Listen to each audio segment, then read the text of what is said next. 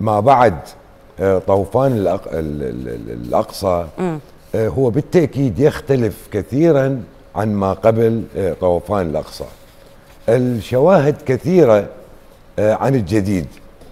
ال- ال- ال- أبرز الشواهد الجديدة آه، في هذا ال- ال- الموضوع تتصل بأن آه، عمر الكيان الصهيوني في عدواناته السابقة كانت جغرافيته خارج نطاق المواجهة فأصبحت بعد طوفان الأقصى آه، المواجهة ضمن إطار جغرافية هذا الكيان سواء في المناطق المحتلة وفي المناطق يعني أقصد ما بعد 48 وما آه، آه، في مناطق آه، 48 آه، هذا يعني بأن هناك مؤشر لتآكل الردع آه، آه، عند الكيان الصهيوني.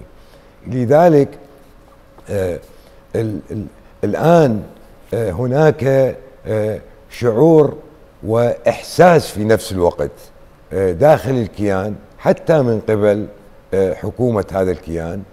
إحساس بأن المواجهة الآن هي مواجهة وجودية.